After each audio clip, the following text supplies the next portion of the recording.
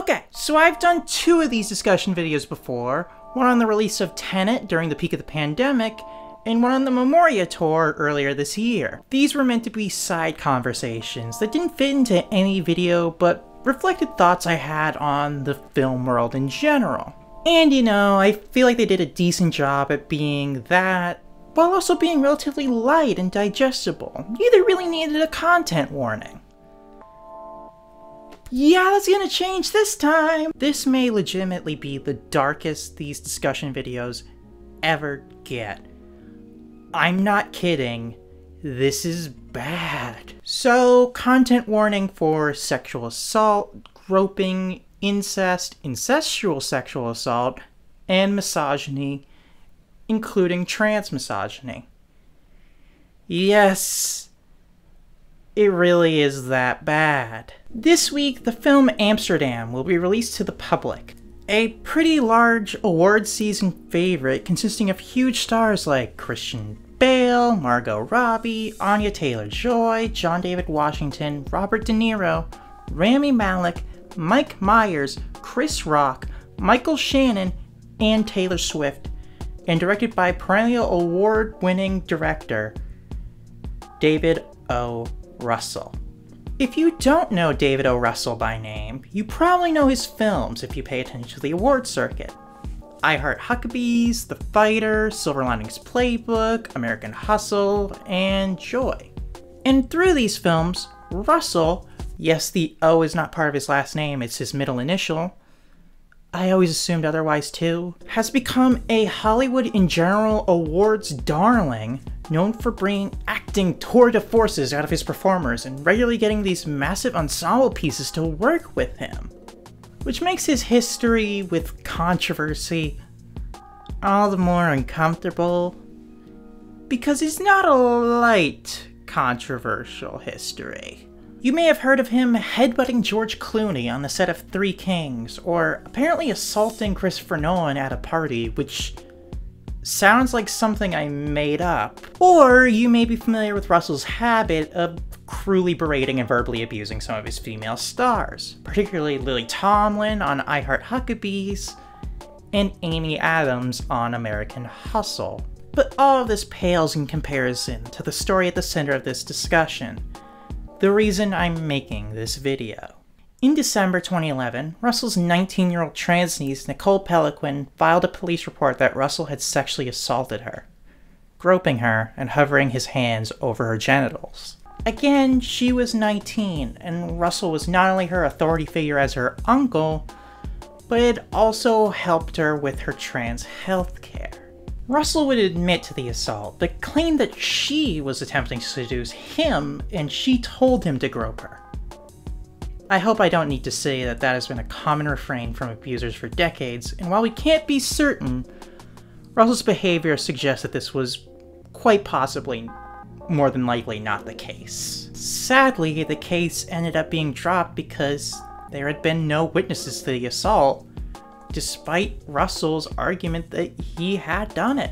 But ignoring any speculation about motive, the assault did confirmably happen.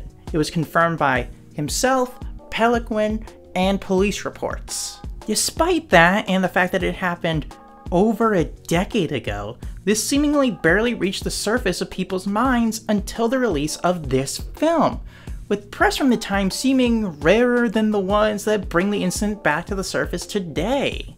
Which means that the last decade of his filmmaking was done with this being a known fact. He got to make four more films and received four Academy Award nominations. And let's be clear, people in the industry knew even if for many of us the story rarely popped up and we maybe were unaware of it.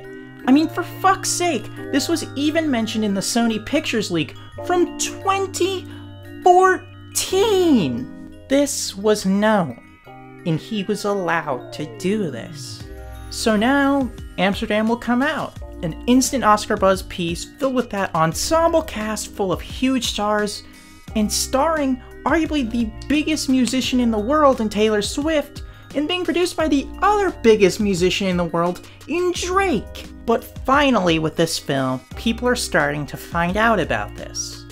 So what can we do about it? Well, if you ask me, there are two ways to proceed, both of which I think are necessary for myself. The first is to not support the film financially in any way. At least, that's my choice. I'm not going to see it in a theater, I'm not going to purchase it, I'm not going to give Russell any money. And I get for some of you who may have just heard of this incident, this may be a big ask. There's a lot of big performers in this film that people want to support. Taylor Swift, Anya Taylor Joy, Margot Robbie all have devoted fan bases who want to see them succeed. And I guess for some that might make them feel that they need to support the film, otherwise, these performers may get lost in the dust. But there will be other opportunities to lift them up. The person who will be most empowered by all of this will be an abuser. The second is to openly make it so discussion of this movie cannot be had without mentioning what happened. Make this film and David O. Russell tied permanently to the incident, like we did with Bryan Singer and Bohemian Rhapsody with Singer's allegations of sexual abuse. This is fully obtainable through reviews and discussion on Twitter, all this bad press can just come from discussing it. In the same way that Cosby and Singer were taken down by these discussions, so too can Russell. Start any discussion in the film with the allegations against him. If you work for an organization covering the film, make sure it doesn't go unmentioned. We need to make this the centerpiece of all discussions about the film. Make this the biggest PR disaster of the year! Even bigger than the Don't Worry Darling and Blonde press tours which I get is a high mark, but this is pretty important. Because that's the thing, we need to force this conversation. It's been several years since Me Too, and it's clear that Hollywood has not fixed anything. It has only plugged the holes that people know about, while the system inside remains rotten. And like many, I didn't know about this story until recently. It seems it got buried for a lot of people. But it happened and people in power did know, and they kept giving him money. So we need to be said who knew about this, who has aided him throughout the years, and who was unaware and just along for the ride. Because it's one thing to be a hothead, it's another thing to be a completely irresponsible, cruel director. But I think I speak for everyone when I say assaulting your own niece is so monstrous, it should bar you from the industry for good. So we don't know how much anyone knew. We don't know if the cast would walk away condemning the man if they knew, or if some of them knew and joined on regardless. But it's a conversation we need to force because we can't just let this behavior go on. Because if we don't have this conversation, then we are all complicit in keeping an abuser in a place of power. So when you go to the theaters next week, keep all of this in mind. And remember who David O. Russell really is.